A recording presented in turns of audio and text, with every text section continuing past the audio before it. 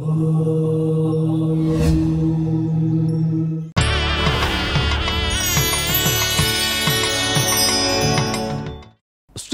TV நேர்களுக்கு நமஸ்காரம். இந்த இனிய காலை பொழுதிலே உங்கள் அனைவரையும் சுபதினம் நிகழ்ச்சியில் சந்திப்பதில் மிக்க மகிழ்ச்சி.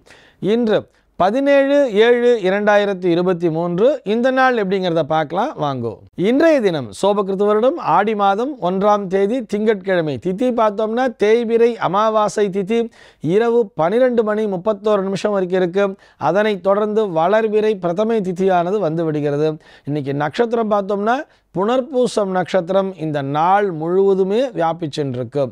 இந்த நாள் முழுவதுமே ஒரு அமிர்த யோகம் கூடிய நாளாகவும் அமைந்திருக்கிறது. இது போக பஞ்சாங்கத்திலே வரக்கூடிய யோகம் அப்படின்னு சொல்லி பார்த்தோம்னா இன்னைக்கு வியாகாத்தம் அப்படிங்கிற ஒரு யோகத்தை கொடுத்துருக்கா. கரணம் பார்த்தோம்னா சதுஷ்பாதம் அப்படிங்கிற ஒரு கரணத்தை கொடுத்துருக்கா. இந்த நாளானது ஒரு சமநோக்கு நாளாக அமைந்திருக்கிறது.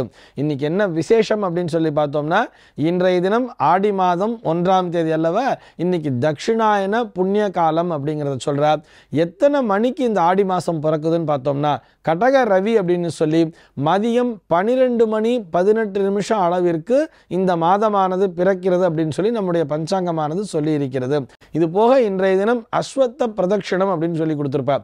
சோமவார அமாவாசை நாளாக இருப்பதால் திங்கட்கிழமையுடன் இந்த அமாவாசை நாள் ஒன்றாக இணைவதால் இன்றைய தினம் காலை பொழுதிலே அந்த அரச மரத்தினை பிரதட்சிணம் செய்து வழிபடுவதற்கு மறக்காதீர்கள் அப்படிங்கிறதுக்காக நினைவூட்டுகிறோம். ஏன் சொல்றேன்னா இந்த அரச மரத்தை மும்மூர்த்திகளினுடைய ஸ்வரூபமாக சொல்றா இல்லையா? மூலத்தோ பிரம்ம ரூபாயா மத்தியத்தோ விஷ்ணு ரூபினே அக்ர அக்ரதக சிவரூபாய விரக்ஷராஜாயத்தே நமகான்னு சொல்றா. அடியிலே பிரம்மா நடுவிலே விஷ்ணு உச்சியிலே சிவன் என்று அந்த மும்மூர்த்திகளினுடைய ஸ்வரூபமாக இந்த அரசமரம் என்பது இருப்பதால் ஆக எல்லோருமே சிறியவர் முதல் பெரியவர் வரை எல்லோருமே இந்த காலை பொழுதிலே ஸ்நானம் பண்ணிட்டு போய் அரசமரம் பிரதட்சணம் பண்ணுறதுனால எல்லா விதமான வளங்களும் நமக்கு கிடைக்கும் என்பதற்காக நினைவூட்டுகிறோம். சரி இது போக இன்றைய தினம் சர்வ அமாவாசை அப்படிங்கிறத கொடுத்துருக்கா. இது ஆடி மாதத்துடன் கூடிய அமாவாசை என்பதால் இதனை ஆடி அமாவாசை கணக்கிலே வைத்து கொள்ள வேண்டிய அவசியம் இல்லை. ஏன்னு சொன்னால் ஆடி அமாவாசை கணக்குங்கிறது இந்த ஆடி மாதத்திலேயே பின்னடி ரெண்டாவதாக வருகிறது. கடைசியாக இந்த ஆடி மாதத்தினுடைய இறுதியிலே வரக்கூடிய அந்த அமாவாசை நாள்தான் ஆடி அமாவாசை என்ற கணக்கிலே நாம் எடுத்துக்கொள்ள வேண்டும். இது போக திருதின ஸ்பிரிக் அப்படின்னு சொல்லி கொடுத்துருப்பா. இது என்ன திருதின ஸ்பிரிக் அப்படின்னு சொல்லி பார்த்தோம்னா ஏதோ ஒரு விஷயம் நேற்று இன்று நாளை ஆகிய மூன்று நாட்களையும் ஒன்றாக இணைக்கும். இன்னைக்கு எது இணைக்குதுன்னு சொல்லி பார்த்தோம்னா புனர்பூசம் நட்சத்திரம் என்பது இன்றைய தினம் சூரிய உதயத்திற்கு முன்னதாகவே வந்துவிட்டது. இந்த நாள் முழுவதுமே இருக்கிறது. நாளைய தினம் சூரிய உதயம் ஆன பின்பும் இந்த புனர்பூசம் நட்சத்திரம் என்பது தொடர்ந்து கொண்டிருப்பதால் இன்றைய தினம் நட்சத்திர திருதின ஸ்பிருக் அப்படின்னு சொல்லி கொடுத்துருப்பா இது போக இன்றைய தினம் ஆடி பண்டிகை அப்படின்னு சொல்லி கொடுத்துருக்கா. நிறைய பேர் இந்த ஆடி ஒன்றாம் தேதி அன்னைக்கு ஆடி பண்டிகையாக வீட்டில் சக்கரை பொங்கல்லாம் செஞ்சு வச்சு நைவேத்தியம் பண்ணி கொண்டாடுவா. அதற்காக நினைவூட்டுகிறோம் அதே மாதிரி இன்னைக்கு பஞ்சாங்கத்திலே சர்வ நதி ரஜஸ்வலை அப்படின்னு சொல்லி கொடுத்துருப்பா. தொடர்ந்து மூன்று நாட்களுக்கு இது உண்டு அப்படின்னு சொல்லி இந்த நதிகள் அத்தனையுமே நாம் ஸ்திரீகளாக பாதிக்கிறோம் அல்லவா? அவர்களை ஸ்திரீகளாக பாதிக்கும் பொழுது அவர்களுக்கான அந்த ரஜஸ்வலை அதாவது மாதவிலக்கு நாள் இந்த நதிகளுக்கான மாதவிலக்கு நாளாக ஆடி ஒன்று இரண்டு மூன்று ஆகிய இந்த மூன்று நாட்களையும் கொடுத்திருப்பார்கள். சரி இந்த நாளினுடைய நல்ல நேரம் என்னன்னு சொல்லி பார்த்தோம்னா காலை ஒன்பது மணி முதல் பத்து மணி வரை வரை நல்ல நேரம். மதியம் மூன்று மணி முதல் நான்கு மணி வரை நல்ல நேரமே. இன்றைய தினத்தினுடைய ஆன்மீக தகவலாக இதை நம்ம ஆன்மீக தகவல்னு பார்க்கறத விட ஜோதிட தகவல்னே சொல்லலாம். அதாவது இருபத்தி ஏழு நட்சத்திரங்களிலும் என்னென்ன பண்ணணுங்கிறத பார்த்துட்டு வந்துட்டோம்.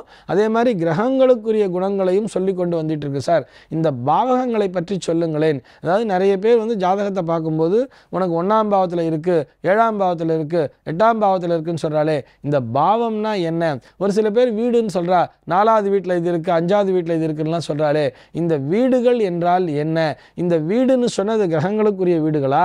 அல்லது நமக்கு மொத்தம் இந்த ராசி கட்டங்களை தான் இவங்க வீடுகள்னு சொல்கிறாங்களா இதை கொஞ்சம் தெளிவாக சொல்லுங்களேன்னு சொல்லி நிறைய நேயர்கள் தொடர்ந்து கேட்டுக்கொண்டே இருக்கிறார்கள். அவர்களுக்காக இந்த பாவகங்கள்னா என்ன அப்படிங்கிறதையும் இந்த பாவகங்கள் தரும் பலன்களையும் நாம் இனி வரும் நாட்களிலே தொடர்ந்து பார்க்க போகிறோம். அந்த வரிசையில் இன்றைய தினம் ஒன்றாம் பாவம் இரண்டாம் பாவம் இரண்டையும் பார்த்து கொள்வோம். இது என்ன பாவம் அப்படின்னு சொன்னால் இந்த பனிரெண்டு கட்டங்கள் இருக்கு இல்லையா? இதைத்தான் அப்படி பிரித்து வச்சிருக்கா. இதிலே லக்னம் அப்படின்னு சொல்லி லாவண்ணான்னு சொல்லி லா அப்படிங்கிறத போட்டு இப்படி சுழிச்சு போட்டு ரெண்டு கோடு போட்டிருப்பா கீழே. அதுதான் அந்த லக்னம் என்பது தான் உங்கள் ஜாதகத்திலே முதல் பாவம் என்று சொல்லப்படுகிறது. அதாவது ஒன்றாம் பாவம் சொல்றா. அந்த லக்னத்தை தான் ஒன்று என்று வைத்துக்கொள்ள வேண்டும். அதனை கொண்டு தான் எல்லாத்தையும் கூட்டிகிட்டே வருவா. உங்கள் ஜாதகத்தில் ஏழுல குரு இருக்குது அப்படின்னு சொன்னான்னா லக்னம் என்பதை ஒன்றாக வைத்துக்கொண்டு இடமிருந்து வளமாக அதாவது கிளாக் வைஸ் அப்படியே வர வேண்டியது.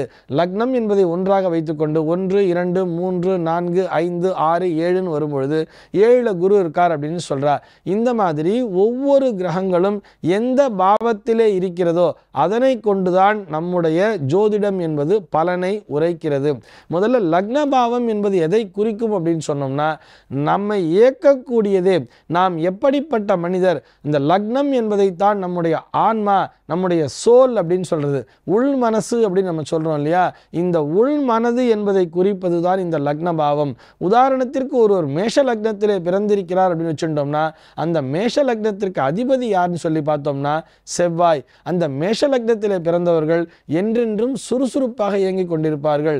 எதை பற்றியும் யோசிக்காமல் உடனடியாக செயல்படுபவர்கள மனிதர்களாக இருப்பார்கள். டப்பு டப்பு டப்புன்னு எல்லா வேலையும் அவசரப்பட்டு பண்ணிட்டே இருப்பார் அந்த செவ்வாயினுடைய குணம் என்பது அவர்களிடத்திலே இருக்கும். அதே நேரத்திலே அந்த லக்னத்திலே ஏதாவது ஒரு கிரகம் உட்கார்ந்திருந்த இருந்தால் அதாவது ஒன்றாம் வீடு அப்படின்னு சொல்றோம் இல்லையா? வீடுன்னு சொன்னாலும் பாவகம்னு சொன்னாலும் அல்லது பாவம்னு சொன்னாலும் எல்லாமே ஒன்று தான் அந்த ஒன்றாம் பாவம் என்று சொல்லப்படக்கூடிய அந்த லக்னத்திலேயே ஏதாவது ஒரு கிரகம் என்பது உட்கார்ந்திருந்தால் அந்த கிரகத்தினுடைய தாக்கம் என்பது அந்த மனிதர் மேல் அதிகமாகவே இருக்கும். உதாரணத்தில் லக்னத்திலேயே ஒரு கேத்து அப்படிங்கிறது இருந்தால் அந்த கேத்து என்ன மாதிரியான தன்மையை தரும்னா என்ன பண்ணி என்ன ஆக போகுது போ? எல்லாம் பார்த்துக்கலாம். எல்லாம் நடக்கிறது தான் நடக்கும் அப்படின்னு சொல்லி ஒரு ஃபிலாசபிக்கல் தாட் அப்படிங்கிறது அவர்களுக்கு இருந்து கொண்டே இருக்கும்.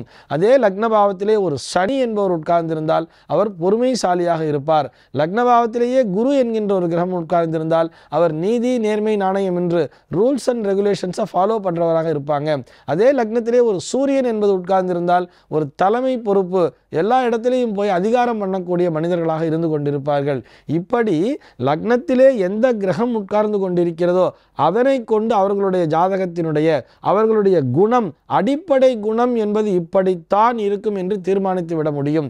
லக்னத்திலே எந்த கிரகமும் இல்லைன்னு சொன்னால் அந்த லக்னாதிபதி யாரோ அவருடைய குணம் என்பது இவர்களிடத்திலே அதிகமாக இருக்கும். அப்படியே ரெண்டாம் பாவம் வந்துட்டோம்னா இந்த இரண்டாம் பாவம் என்பது அவர்களுடைய வாக்குஸ்தானம் பேச்சு என்பதை குறிக்கும். இது போக ஜென்ரல் இன்டெலிஜென்ஸ்னு சொல்கிறா இல்லையா? பொதுவாக அந்த புத்திசாலி அப்படின்னு சொல்கிறா இல்லையா? அந்த பிரசன்ஸ் ஆஃப் மைண்ட் அதெல்லாம் தரக்கூடியது இந்த இரண்டாம் பாவம். வாக்குஸ்தானம் மட்டுமல்ல குடும்பஸ்தானம்னு சொல்கிறா நேத்திரம்னு சொல்கிறா கண்களை பற்றி சொல்லும்னு சொல்கிறா அந்த இரண்டாம் வீடு என்பது பேச்சாகட்டும் இந்த முகபாவங்களாகட்டும் முகத்திலே தோன்றக்கூடிய விஷயங்களாகட்டும் கண்களாகட்டும் தனஸ்தானம்னு சொல்கிறா குடிப்பா அவர்களுடைய தன வரவு எப்படி இருக்கும் அப்படிங்கிறதையும் இந்த இரண்டாம் பாவம் தான் சொல்லும் அப்படின்னு சொல்றா.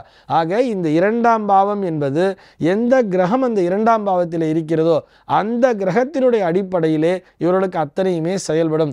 உதாரணத்திற்கு ஒரு இரண்டாம் பாவத்தில் போய் ஒரு செவ்வாயும் ஒரு ராகுவும் சேர்ந்திருந்தால் இவர்கள் படபடவென்று பேசுபவர்களாக இருப்பார்கள். ரெண்டில் செவ்வாய் இருந்தாலே இவர்களுடைய குரலானது ஒரு கம்பீரமான குரலாக ஒரு கட்ட குரல்னு சொல்லுவா தெரியுமா? ரொம்ப ஒரு மாதிரி ஆய் அப்படின்னு பேசுறா இல்லையா? இதெல்லாம் பார்த்தோம்னா அந்த இரண்டாம் பாவத்திலே ஒரு செவ்வாய் அல்லது ராகு என்பது சேர்ந்திருக்கும். ஒரு சில பேர் எப்போ பார்த்தாலும் நிறைய ஒரு நெகட்டிவான விஷயத்தை மட்டுமே பேசிகிட்டு இருப்பா. இந்த நெகட்டிவாக பேசக்கூடிய தன்மை என்பது இந்த இரண்டாம் பாவத்திலே சனி என்பது நீச்சம் பெற்றால் அப்படி இருக்கும். இரண்டாம் பாவத்திலே கேத்து என்பது இடம் பெற்றிருந்தால் அவர்கள் எப்பயுமே ஃபிலாசபியாக பேசுவா.